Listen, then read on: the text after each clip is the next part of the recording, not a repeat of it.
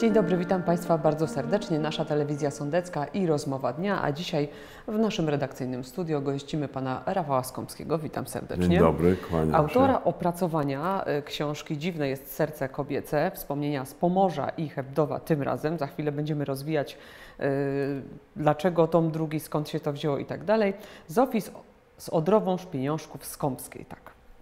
Dobrze, nie pomyliłam się. Witam serdecznie. Kłaniam się Państwu. Drugi tom, ale y, chyba nie zaczniemy naszej rozmowy bez choćby krótkiego przypomnienia. Być może nie wszyscy z naszych y, widzów, z naszych internautów pamiętają nasze spotkanie ostatnie, y, w którym była mowa właśnie o tym, w jakich okolicznościach i z jakiego powodu powstała pierwsza część, pierwszy tom tej rodzinnej sagi. Przypomnijmy w dwóch słowach, skąd się to wzięło. Autorką wspomnień jest moja babcia, matka mojego ojca.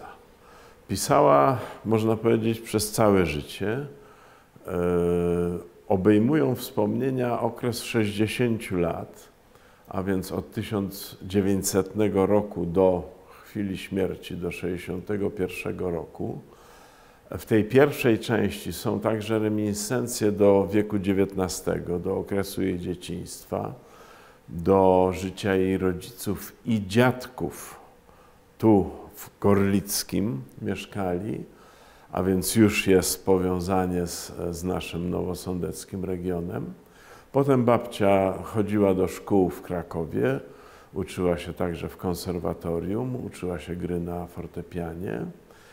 A gdy młodo wyszła za mąż, zamieszkała na Sądecczyźnie właśnie, gdyż dziadek był dzierżawcą dóbr, najpierw Adama e, Dunikowskiego w Łososinie, a potem Adama Stadnickiego w Brzeznej do 1920 roku i na tej dacie kończył się tom pierwszy wspomnień, stąd podtytuł Wspomnienia Galicyjskie. galicyjskie. No właśnie, o, to, o, o, tutaj nawiązujemy do tego tomu drugiego.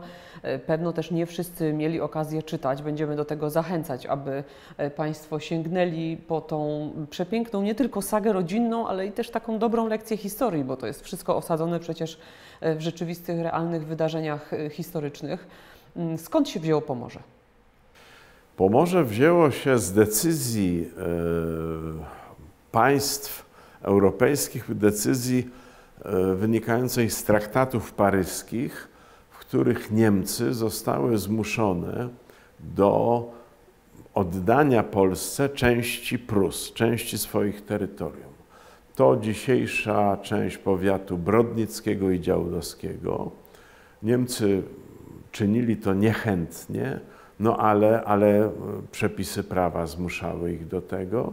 I tam były majątki do objęcia, bo właściciele, nie tylko państwo niemieckie się usuwało z tych terenów, ale także ludzie, właściciele tych ziem e, wyjeżdżali do Niemiec, pewnie dostawali tam jakieś odszkodowania albo jakieś inne, inne majątki. W każdym razie były majątki do objęcia. I wówczas dziadkowie, którzy, tak jak powiedziałem, dzierżawili tu na Sądecczyźnie duże majątki, postanowili mieć coś swojego, pracować dla siebie, pracować na swojej ziemi. I zaczęli starać się o te majątki. Pierwszy rozdział opisuje, jak trudne to były e, zmagania o uzyskanie decyzji przydziału majątku, decyzji, która wiązała się z wydaniem pieniędzy, bo to był przydział, za który trzeba było zapłacić albo jednorazowo, albo w wieloletnich ratach.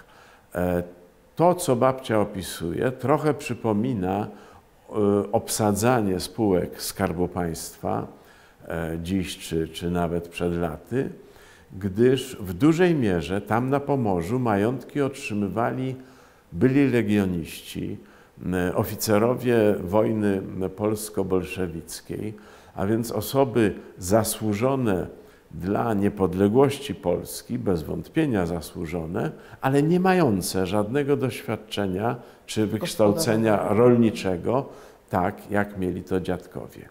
I analizując nazwiska osób, którzy, które były, którzy byli sąsiadami dziadków, doszedłem do wniosku, że rolnicy z wykształcenia lub z doświadczenia byli w mniejszości.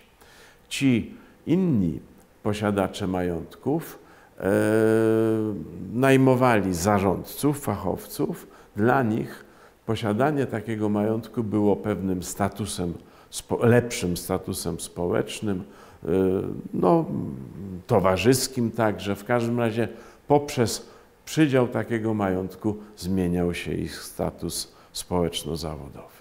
Wspomnienia z Pomorza i Hebdowa, ile y, lat obejmuje ta część, ten tom? Ten tom obejmuje 25 lat. Pierwsza część to są te lata, nazwijmy to spokojniejsze, radośniejsze, lata y, odbudowy i państwa, i, i, i budowy nowego życia na Pomorzu do 1939 roku. Druga część jest już dramatyczna, bo opisuje pierwsze tygodnie, pierwsze dni po wkroczeniu wojsk niemieckich.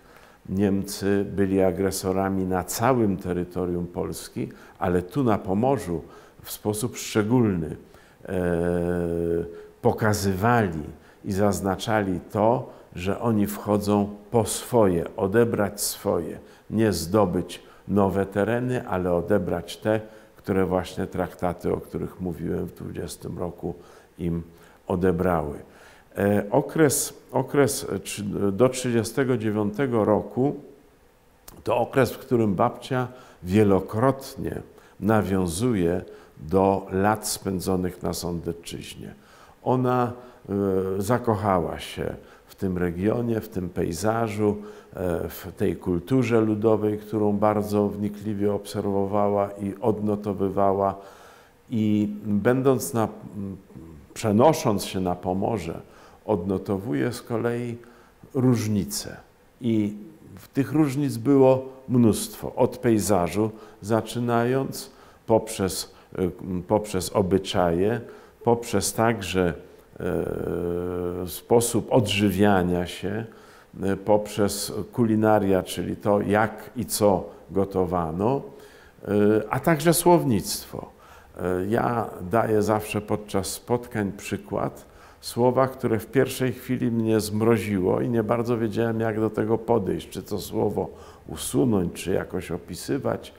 Babcia o jednym z sąsiadów pisze gubur. Wydawało mi się, że próbuje oceniać tego kogoś, ale nie. Tak na Pomorzu, tak nazywano na Pomorzu bogatego włościanina, Gbur i Ksiński. Więc zostało to określenie, tak jak w pierwszym tomie zostały określenia trudne do zrozumienia w pierwszej chwili dla czytelników z innych e, regionów niż Sądecczyzna, jak dziopa czy chodok. Y, to jest, tak jak wspomniałam, y, nie tylko saga rodzinna, bo chyba tak możemy o tym mówić, prawda? Możemy o tym mówić, saga rodzinna, przy czym przyzwyczailiśmy się i lubimy czytać sagi wymyślone. Sagi, no w których bohaterowie są fikcyjni.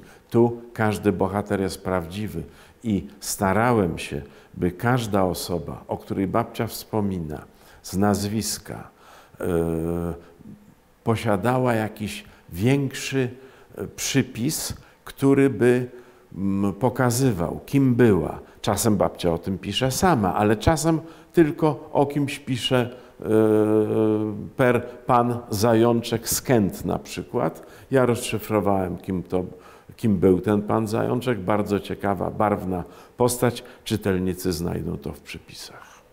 E, a jeśli chodzi o te postacie historyczne, o ten rys historyczny, o to tło, może nie rys, ale tło historyczne, bo przecież każda saga, każda e, taka powieść jest e, na jakimś tam oparta tle historycznym. Tak, tu, tu historia w tych wspomnieniach i w tomie pierwszym i w tomie drugim jest opisywana jako naturalne tło zdarzeń rodzinnych. Tu nie ma dydaktyki, tu nie ma nachalnej edukacji i i, i jakiegoś nauczania historii, tu historia i postaci historyczne pojawiają się wtedy, kiedy dotykają rodziny. E, pierwsza wojna dotyka, bo front przez Brzeznę przechodzi e, co najmniej kilka razy. e, wojna polsko-bolszewicka dotyka, bo obydwaj synowie starsi w niej uczestniczą. Ale na przykład zamach majowy Piłsudskiego jest niewspomniany, bo nikogo to z rodziny bezpośrednio nie dotknęło. Piłsudski jest przywołany bodaj e, trzy razy. Raz, kiedy stacjonuje w pobliżu dworów Brzeznej, bo e, w Podegrodziu księdza Oleksika na, na plebanii, ale oficerowie nocują u dziadków w Brzeznej. Potem e, drugi raz, kiedy w Toruniu dziadkowie uczestniczą w jakiejś manifestacji, na której Piłsudski się pojawia. I trzeci raz wreszcie, podczas e, babcia odnotowuje relacje z pogrzebu. Nie, nie, nie jest istotne, że on zmarł, to nie jest odnotowane. Tylko istotne jest to, że był pogrzeb, gdyż relacjonował ten pogrzeb w polskim radiu znajomy dziadków Stefan Felsztyński. I tylko dlatego ten pogrzeb jest odnotowany. A więc tam, gdzie następuje bezpośrednie zetknięcie się, tak jak z generałem Andersem, babcia przy jakiejś okazji e, jest posadzona e, podczas obiadu koło generała Andersa, więc o nim pisze. Tak, tak ta historia towarzyszy i przeplata się przez życie e, dziadków i rodziny. A jeśli chodzi o takie osobiste Pana doświadczenie, jak to jest, bo tak sobie myślę, że na pewno przecież e, o, o własnym ojcu czytał Pan w tych zapiskach, w tych pamiętnikach babci. E, czy to jest jakieś spojrzenie nieco inne, z innej perspektywy na, na ojca? Pani, tak, oczywiście. To jest spojrzenie takie rozszerzające. E, tak jakbyśmy powiedzieli, że do tej pory patrzyłem wąsko, a teraz patrzę całą, całą możliwością e, oczu. E, ja straciłem ojca, ojciec zmarł, kiedy ja miałem 12 lat, więc e, tych relacji między nami było, było niewiele. E, o sobie, o swojej historii inaczej opowiada się chłopcu dziesięcioletniemu, a inaczej dwudziestoletniemu. I tych rozmów dorosłych nam zabrakło. Stąd poprzez wspomnienia babci, ja dowiadywałem się nie tylko o niej, nie tylko o dziadku, ale także o ojcu i jego rodzeństwie. To dla mnie było bardzo i wzruszające, i pouczające, i tak jak powiedziałem na początku, poszerzające tę informację i ten obraz.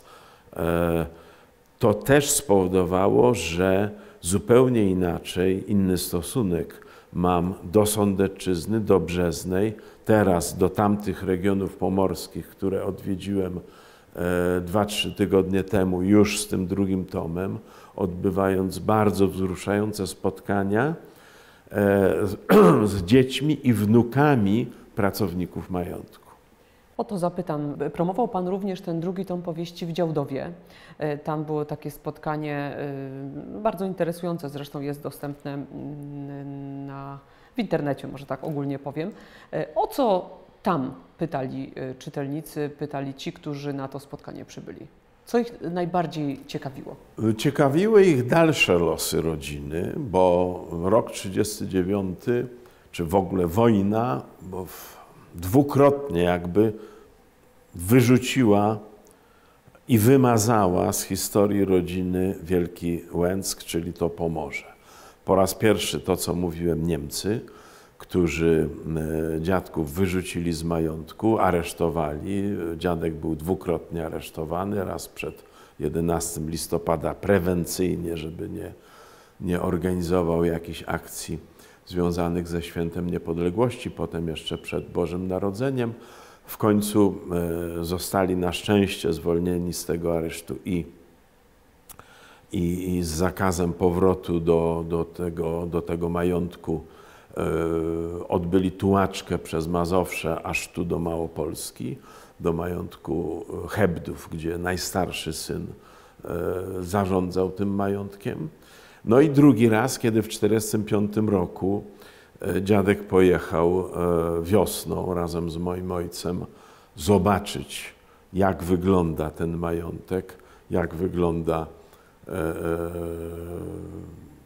możliwość ich powrotu i po kilku godzinach pobytu powrócili ze świadomością, że rzeczywiście to wszystko się skończyło i, i zamknęło. Więc pytano o te dalsze losy. Pytano o taki stosunek no, emocjonalny rodziny do, do tego fragmentu życia na Pomorzu. E, ale tak jak mówię, bardzo wzruszające było to, że na spotkaniu byli wnukowie e, kucharza Macieja, pochodzącego stąd, z Sądecczyzny, z Łososiny Dolnej, e, który jako młody chłopiec zaczął pracować u dziadków. Kiedy dziadkowie przenieśli się na Pomorze, po dwóch latach z całą rodziną tam się przeniósł i tam osiadł. Byli wzajemnie sobie, jak widać, potrzebni. I to mm, spotkanie po wielu, wielu latach w kolejnym pokoleniu potwierdziło e, jakiś rodzaj emocji, jakiś rodzaj sympatii, by nie powiedzieć przyjaźni pomiędzy, pomiędzy naszymi rodzinami. Ale spotkałem też się z 94-letnią córką Fornala, która ma doskonałą pamięć. O, o, oboje się wzruszyliśmy tymi rozmowami i tymi wspomnieniami pani Janiny Sobiesierskiej. A kiedy przeglądaliśmy e, jej rodzinne zdjęcia, bo chciałem zobaczyć, jak wyglądał jej ojciec, opisywany w tym drugim tomie, to nagle ona mówi: O, a tu jest pan dziedzic na zdjęciu, to ja panu to zdjęcie ofiaruję.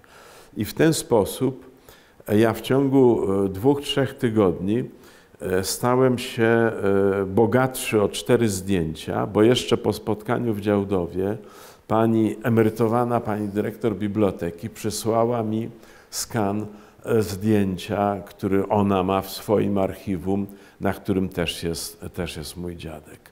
Więc yy, i wzruszające, i pouczające, i ubogacające, jak się czasem mówi, spotkania. Promocja drugiego tomu, także na Sądecczyźnie, yy, miała już miejsce i będzie miała. Może powiedzmy, gdzie można się z Panem spotkać i, i Ja posłuchać. jestem, tak, ja jestem w trakcie spotkań na Sądecczyźnie. E, będziemy się widzieli E, w Piwnicznej, w Muszynie, w Łabowej, e, w Krynicy, a 1 grudnia w Nowym Sączu, podobnie jak tom pierwszy, spotkanie odbędzie się w sali ratusza. Czyli już dziś możemy zaprosić na te spotkania. I jeszcze na zakończenie dwa słowa na temat kontynuacji, czyli na temat tomu trzeciego. To już są y, lata powojenne, rozumiem? To są lata powojenne. Materiał na ten tom jest. Jest to już przepisane, jeszcze nie opracowane.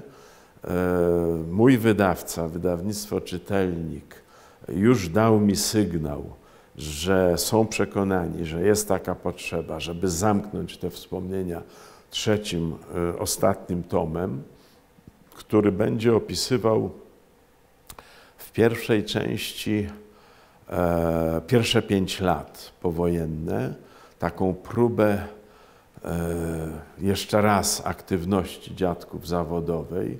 Już 70-latkowie obejmują zakład ogrodniczy na Dolnym Śląsku, a więc na ziemiach zwanych ziemiami e, odzyskanymi, bo to są Ząbkowice Śląskie. E, potem dziadek e, niestety umiera w roku 50. Babcia przenosi się do Krakowa, tego Krakowa, z którego ta cała peregrynacja po Polsce zaczęła się. Tam mieszkając u swojej najmłodszej córki, nadal pisze. E, już jest to zupełnie inny charakter wspomnień, ale też ciekawy, bo są to takie rozważania o z jednej strony czasie minionym, ale o tym, co ją dotyka aktualnie, a więc samotność, a więc pogodzenie się z odchodzeniem, z tą perspektywą odchodzenia. Refleksję starego człowieka o tym, czy i komu jest potrzebny. I tym się zamknie ta saga, tak? I tym się zamknie. I tym się zamknie. W tomie drugim jest sporo takiej części dodatkowej. To nie są już wspomnienia babci, to są na przykład wspomnienia najmłodszego jej syna, fragmenty, czy wspomnienia z kampanii wrześniowej najstarszego, czy list mojego ojca do matki, e, kiedy przez e, może nie przypadek, ale nie, niezaplanowany, niezaplanowana wizyta tam w majątku Wielkim Łęcku w końcu lat 50., czy wspomnienia kogoś, kto był, kto chronił się wraz z matką w tym majątku e, w Hebdowie koło Krakowa. Więc myślę, że w tym trzecim tomie też jakiegoś rodzaju aneksy, uzupełnienia, czy choćby historia moich kuzynów, którzy, którzy zawodowo już po śmierci babci zajęli, na przykład jeden z kuzynów był rektorem Politechniki Warszawskiej. Warto to też odnotować, żeby pokazać, jakich miała wnuków. Z pewnością. Dziękuję serdecznie Dziękuję za to bardzo. spotkanie moim widzom, internautom. Dziękuję za obejrzenie, za wysłuchanie naszej audycji. Do zobaczenia.